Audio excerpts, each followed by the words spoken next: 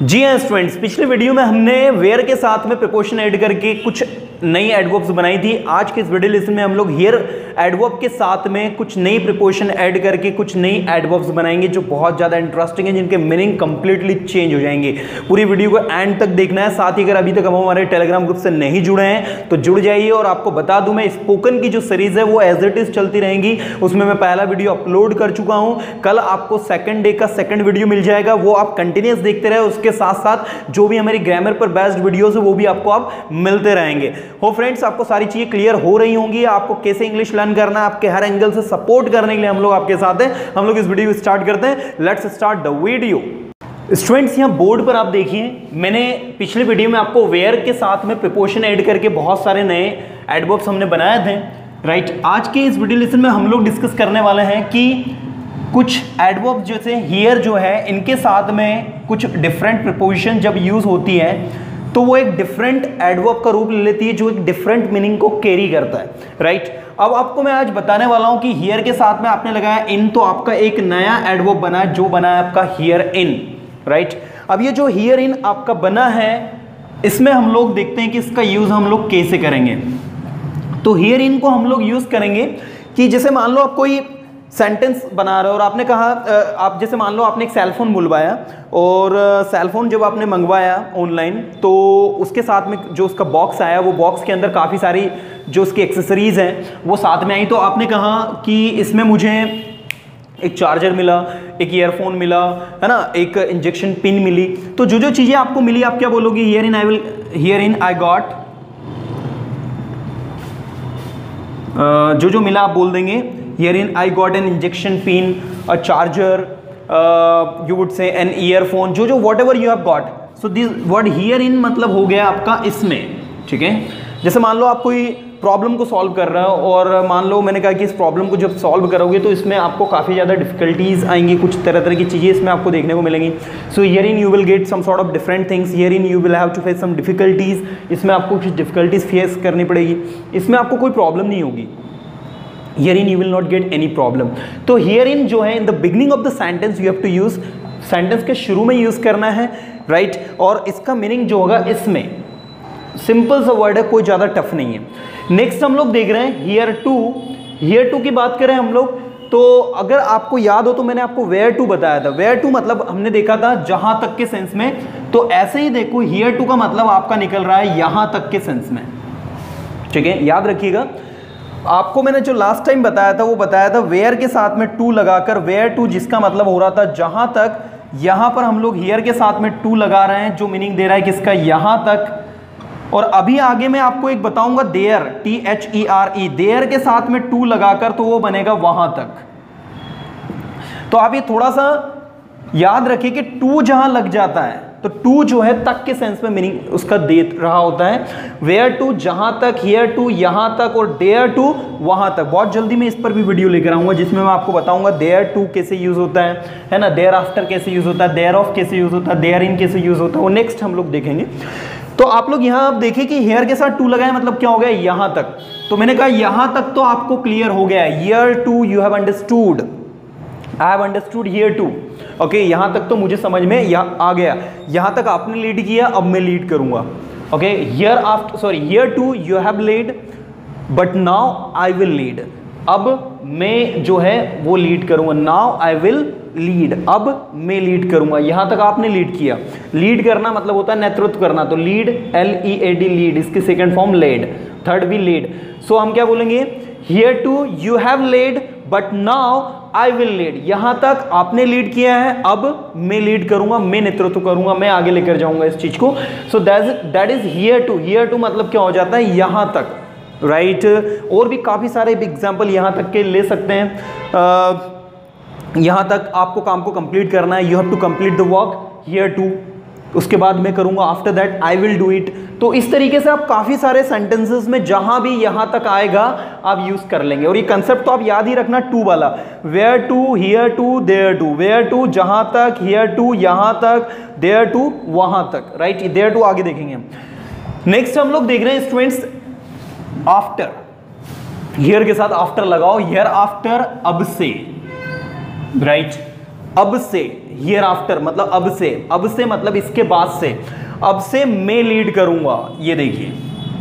यहाँ तक आपने लीड किया था, अब मैं लीड करूँगा। तो hereto you have led but hereafter I will lead ये लो दोनों आपके आगे hereto you have led but hereafter I will lead मतलब यहाँ पर आपको हियर टू भी यूज़ हो गया आपका हियर आफ्टर भी यूज़ हो गया एक ही सेंटेंस में दोनों आपके एडवर्ब जो यूज़ हो गई हैं। Hereto you have led यहाँ तक आपने नेटवर्क लीड किया था। Hereafter I will lead hereafter I will lead मतलब इसके बाद अब से मैं लीड करूँगा। अब से कोई भी वहाँ नहीं जाएगा। Hereafter no one will go there अब से कोई भी भूखा नहीं मरेगा। Hereafter no one would die with star अब से कोई भी उसकी मदद नहीं करेगा। Hereafter no one will help him ठीक है? अब से कोई भी आ, उससे बात नहीं करेगा। Hereafter no one will talk to him तो इस तरीके से अब से के सेंस में आप बहुत सारे सेंटेंसेस इसमें बना सकते हैं जिसका मतलब क्या होता है? अब से के सेंस में। नेक्स्ट आपको मैं लेकर चल रहा हूँ हियर ऑफ़ ठीक है? ओ एफ़ लगाया हमने। हियर ऑफ़ हियर ऑफ़ इस मतलब होता है इसका। अब ये इसका किस सेंस में ये किसी पर्टिकुलर एरिया को लेकर चलते हैं हम लोग, ठीक है? जगह की जब बात करते हैं तो उसके सेंस में इसका यूज़ होता है। जैसे मैंने कहा इसका आप लोग क्या करोगे? ठीक है, आप एक स्पेस की बात कर रहे हैं, जगह की बात कर रहे हैं या किसी वर्क की बात कर रहे हैं तो इसका आप क्या करोगे? What will you do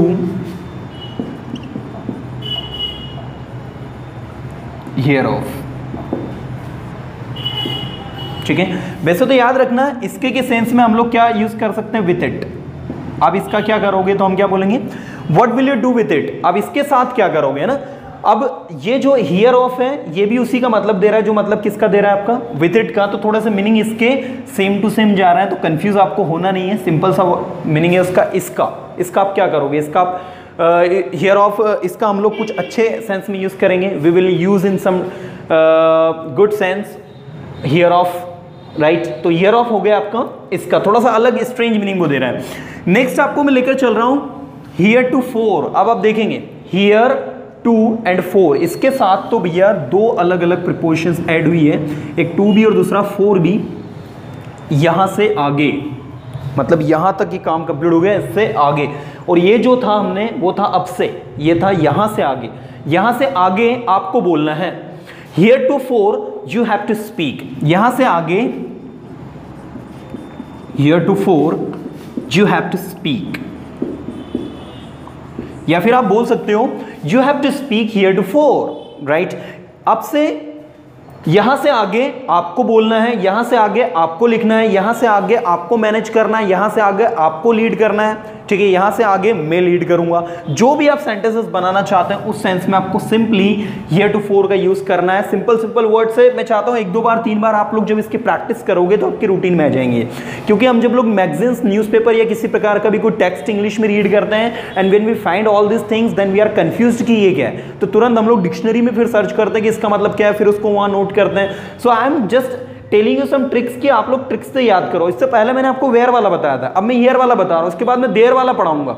right तो हियर वेयर एंड देयर के साथ में कुछ प्रिपोजिशन ऐड करके आप कुछ नई एडवर्ब्स प्रिपेयर करते हैं जिनका मीनिंग कुछ इस तरीके से निकलता है, जो आपको पता होना चाहिए। गॉड इट क्योंकि ये कहीं ना कहीं स्पोकन में यूज़ होते हैं। चलिए, मैं नेक्स्ट आपको लेकर चल रहा हूँ हियर अबाउट अगर आपको याद हो तो मैंने आपको वेयर अबाउट भी पढ़ाया था।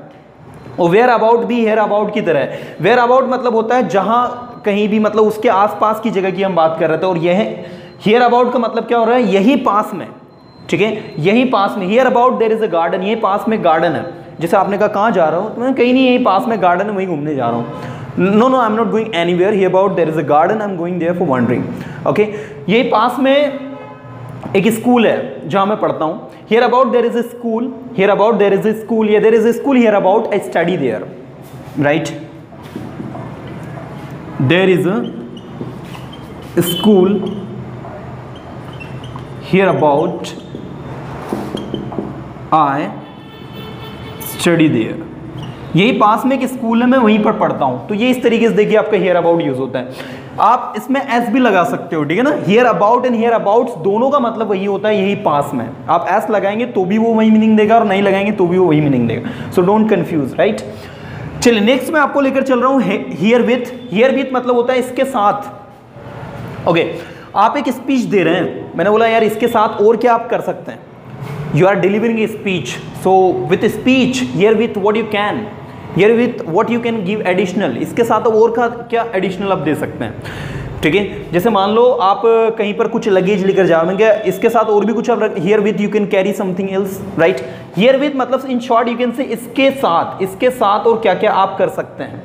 Herewith what you can herewith what you can right इसके साथ और क्या लिख सकते हैं? मतलब और क्या क्या लिख सकते हैं आप? कुछ नया कुछ इनोवेटिव uh, आप और क्या कर सकते हैं? तो उस सेंस में आपका हियर विथ यूज़ होता है जो सिंपल मीनिंग को केयर कर रहा है हियर विथ इसके साथ। ठीक है जैसे मैंने कहा I have bought cell phone and herewith I will also buy laptop ठीक है, मैंने एक सेल फ़ोन खरीद लिया है herewith I will also buy a laptop मैंने एक सेलफोन तो खरीद ही है, अब इसके साथ में मैं एक लैपटॉप भी परचेस करूँगा लैपटॉप भी खरीदूँगा। तो हियर विथ इसके साथ में, है ना? कुछ इस तरीके से आपका यूज़ होगा। एक बार हम सभी का रिविजन करते हैं, ध्यान से देखेंगे। अब टफ नहीं है इजी है।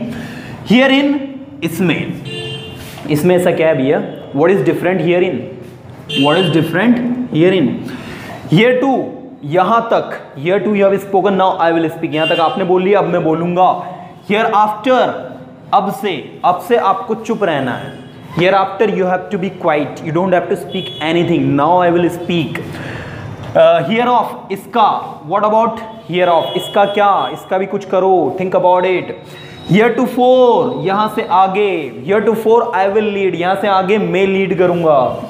हियर अबाउट यहीं आसपास में. Hereabout there is a garden I will go there for wandering hereabout there is a college where my sister studies right तो इस तरीके से, ऐसे हियर विथ इसमें, इसके साथ sorry herewith what you give me इसके साथ आप मुझे क्या दोगे?